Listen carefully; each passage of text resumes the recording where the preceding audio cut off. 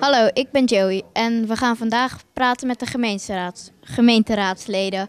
Ik ben van Stichting Kikker. Hallo, ik ben Jeda en ik ga nu meneer Roze interviewen. Wat vindt u van het veiligheid in Schiedam? De veiligheid, ja.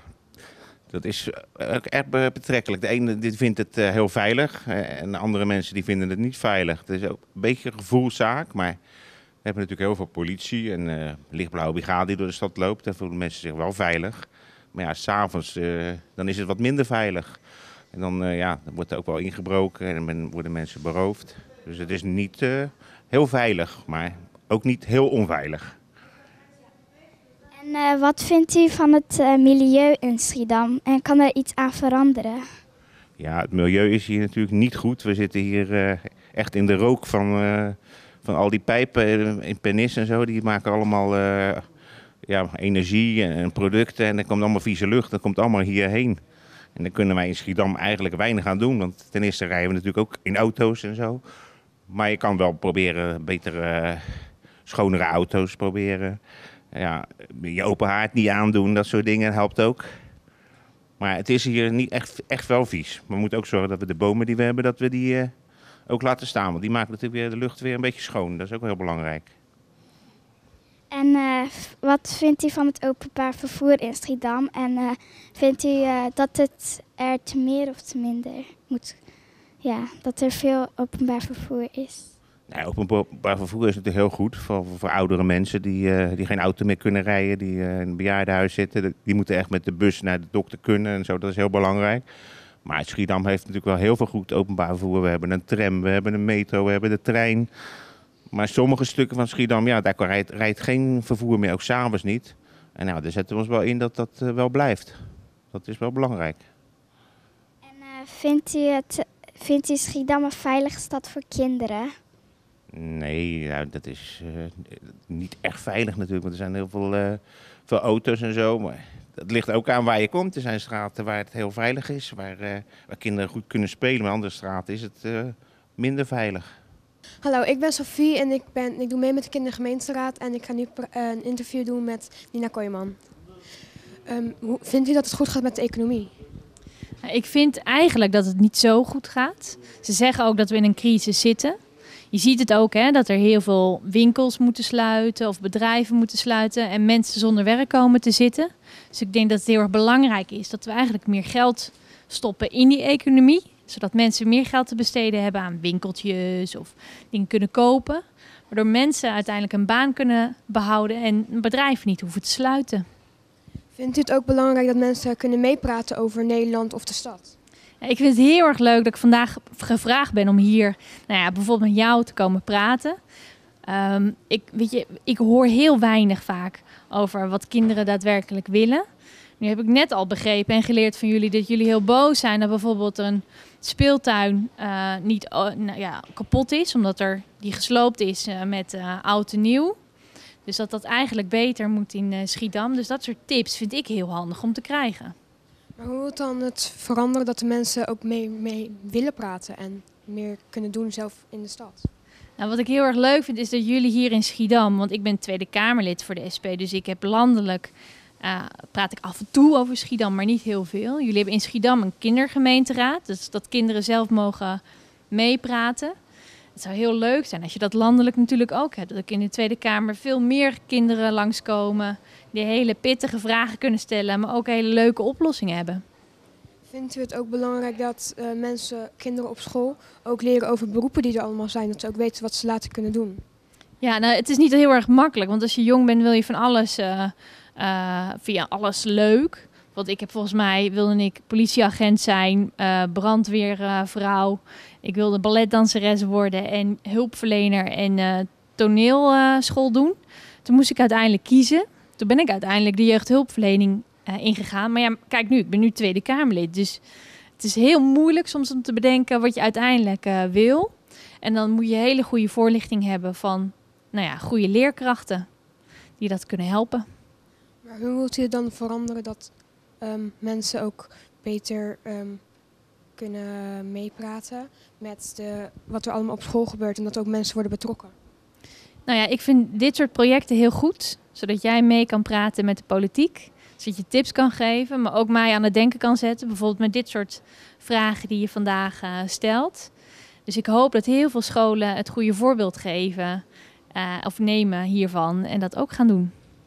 Maar hoe moet dan veranderen dat mensen ook beter um, mee gaan doen en om ook op school te gaan helpen bij um, um, ja, helpen om dingen te maken en andere projecten te starten op school?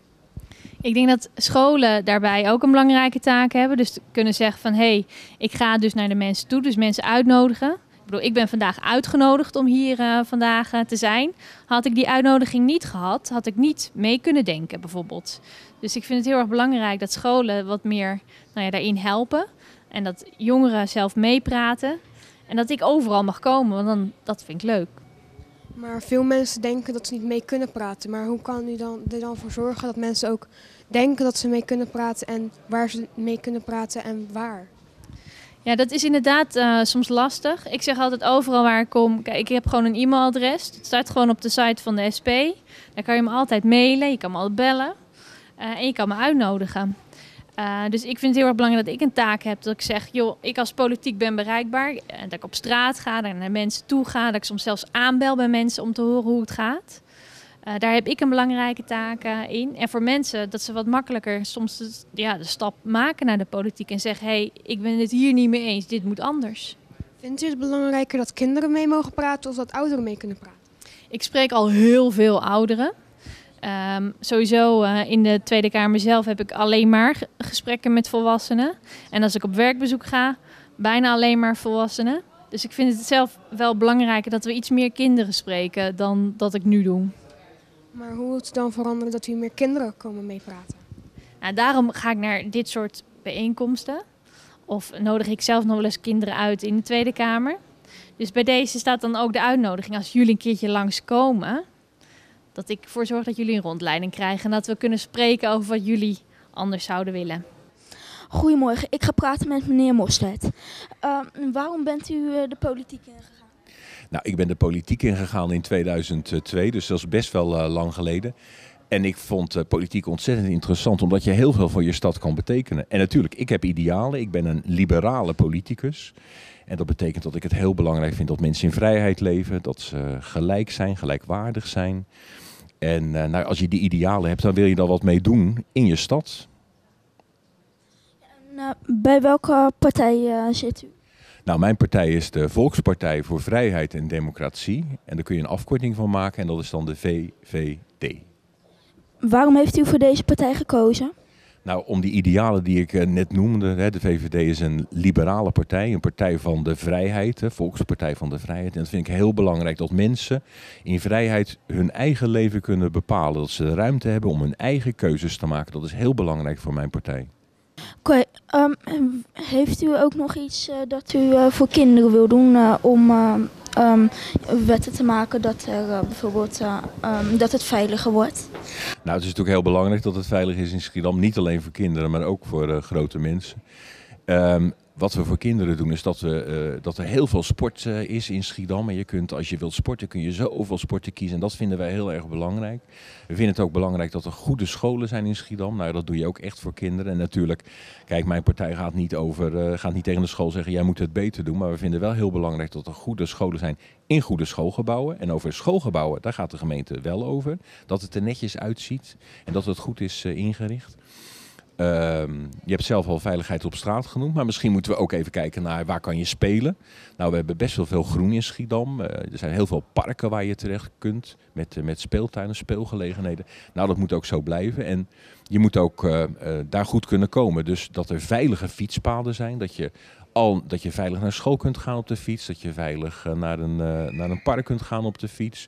Dat vinden we ook heel belangrijk. Dus daar zorgen we voor dat ook fietspaden er piekfijn uitzien en ook veilig zijn. En hoe uh, doet u dat? Um, gaat u uh, uh, zorgen dat het veiliger wordt? Of wat vindt u eigenlijk van of het veilig is? Nou, wij, wij zien dat het in Schiedam steeds veiliger wordt. Let op veiliger. Eh, het is nog niet altijd helemaal veilig, want eh, er gebeurt soms nog wel eens wat op straat. Ik weet niet of jij dat wel eens gezien hebt, maar sommige mensen zien dat dan. En daar valt nog wel iets te verbeteren. Maar als je dat met zeg vijf jaar geleden of tien jaar geleden vergelijkt, is het wel al veiliger geworden. En wat wij in de politiek kunnen doen, is ja, we zijn niet zelf politieagenten. Je ziet leden van de gemeenteraad, want er zit in de gemeenteraad, die zetten niet een blauw petje op en dan gaan ze politieagent spelen. Dus dat doen, doen we niet. Maar we zorgen er wel voor dat, dat, dat de, de, de straten, de fietspaden goed onderhouden zijn. Dat de, bosjes niet al te hoog eh, worden, zodat je geen eh, zicht meer hebt. Dus we zorgen ervoor dat, dat er een lekkere open ruimte ontstaat. Dat je precies eh, van tevoren ziet, uit de verte ziet wie er allemaal in het park zijn. Dat vinden we ook belangrijk. Zo werk je ook aan veiligheid. Dus het onderhoud noemen we dat van de openbare ruimte. Is een beetje een ingewikkeld woord. Maar dat de, de plantsoenen er goed uitzien. Dat de, de, de struiken en de bomen op tijd worden, worden bijgehouden. Dat dat niet... eh, verloedert, dat het een soort jungle wordt. Hè, dat je alleen maar bomen en struiken ziet, maar dat je ook echt een park op een goede en veilige manier kunt gebruiken. Daar gaan wij ook over en daar doen we ons best voor. Oké, bedankt dat ik eh, dit interview heb af mogen nemen. En eh, ehm, een prettig weekend. Dankjewel. En jij ook eh, een goede, goede dag nog. Tot ziens. Ik ben Sarah en ik ga meneer Stam interviewen. Eh, meneer Stam, hoe vindt u eh, dat het met eh, de armoede in Schiedam gaat? Nou ja, we weten dat er in Schiedam veel mensen zijn, eh, relatief veel mensen, eh, die in armoede leven. Eh, dat vinden we natuurlijk niet goed. En daarom hebben we in Schiedam ook een heel goed armoedebeleid gemaakt. En bijvoorbeeld met de activiteiten in Schiedam voor kinderen, hoe vindt u dat het daarmee gaat? Nou ja, wat wij in december met de gemeenteraad hebben afgesproken, is dat we met ingang van dit jaar, van 2014, eh, kinderen in gezinnen met een laag inkomen voor 230 euro per jaar bijvoorbeeld naar sportverenigingen kunnen laten gaan. Dat was voorheen 180 euro en dat hebben we een beetje opgehoogd. En vindt u het veilig in Schiedam? Nou, ik vind dat het vooral nog op sommige plekken wel wat veiliger mag in Schiedam. Eh, We zien dat eh, gelukkig de aangiftecijfers bij de politie wat naar beneden gaan. Dus dat betekent dat er wat minder zware criminaliteit is, wat minder overvallen op straat. Eh, er zijn wat minder eh, eh, eh, berovingen. Eh, maar tegelijkertijd zien we nog dat de mensen zich nog niet altijd veilig voelen in Schiedam. En dat moeten we nog verbeteren. Hoe vindt u dat het gaat met de scholen in Schiedam? Nou, het gaat gelukkig best goed met de scholen in Schiedam. Eh, we zien dat we op dit ogenblik bezig zijn met het bouwen van een nieuwe school voor eh Ababiel en voor de taaltuin. Er, wordt, er is net een nieuwe school geopend. De, eh, de nieuwe school van De Wieken, die tegenwoordig eh, Het Talent heet. En er is een nieuwe school eh, voor Schravenland geopend. En daarnaast zien we dat er in die scholen heel hard gewerkt wordt door de meesters en juffen. Om de resultaten van de leerlingen op die scholen eh, ietsjes beter te maken. Nou, dat vind ik hartstikke goed. Daar wordt keihard aan gewerkt. En daar moeten we ook nog wel een paar stapjes in, in maken met elkaar. Maar op zich gaat het denk ik best aardig met het Schiedamse onderwijs. Wilt u straks weer wethouder worden, me- meneer Stam? Ja, dat lijkt me hartstikke leuk om weer wethouder te zijn. Eh, en ik denk ook dat het goed is, eh, omdat we nog best bepaalde klussen voor ons hebben liggen. Hè. Er is nog heel veel te doen in Schiedam. Eh, en daar wil ik graag aan meewerken.